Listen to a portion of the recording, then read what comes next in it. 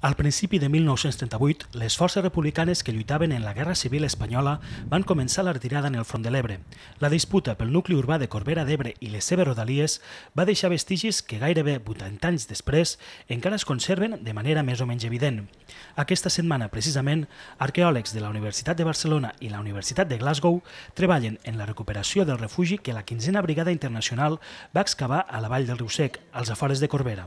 Llavors, a dintre perfectament es poden veure la mà d'obra de túnels i d'estructures de, de vida quotidiana, en aquest cas doncs, de, la, de la gent o del batalló en principi que va venir aquí a, protegir-se. Es tracta d'una petita cova artificial excavada aprofitant un desnivell del terreny amb tres boques d'entrada i que va funcionar segurament com a lloc de comandament dels soldats britànics.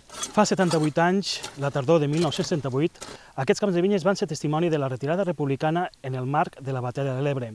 Per això, la recuperació dels vestigis històrics que se'n conserven no és només una mera activitat arqueològica, sinó un treball per la recuperació de la memòria històrica.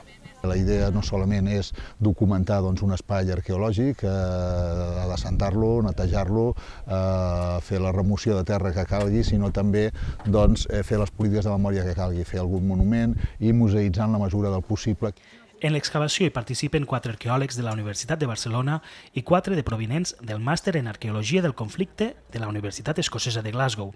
I és que fa 80 anys la participació de soldats escocesos en la Guerra Civil en el marc de les Brigades Internacionals Britàniques afegeix un valor afegit per als arqueòlegs de la Universitat de Glasgow. La lluita dels republicans en la Guerra Civil és una de les principals causes de la història. Va significar l'inici de la lluita contra el feixisme, fins i tot abans de l'inici de la Segona Guerra Mundial. La intervenció arqueològica va començar dilluns i acabarà aquest divendres, amb la voluntat de deixar l'espai a punt per a la visita dels turistes.